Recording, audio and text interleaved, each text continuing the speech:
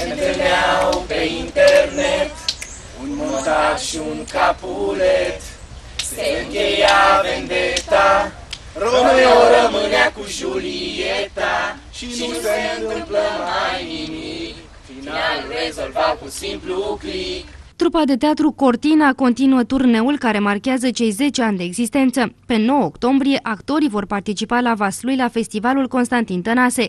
Tinerii se vor prezenta în fața publicului și a jurului cu piesa ce le-a adus deja numeroase premii. Un logol pe DVD se caută o Julieta, scrisă de Cornel Udrea. Cam peste tot pe unde am mers am avut uh, șansa să fim aplaudați și să obținem uh, premii și mențiune și premiul 2 și premiul 1. Am luat la, din partea dragă Olteanu Matei, actriței uh, premiul jurului. E un premiu foarte important, mai important decât premiile 1, 2 și 3. Pe 23 octombrie, la Găiești, trupa Cortina va participa la festivalul concurs Anton Pan, Povestea Vorbei. Pe 29 octombrie, la Botoșani, vor concura la festivalul de tineret organizat de Teatrul de Revistă.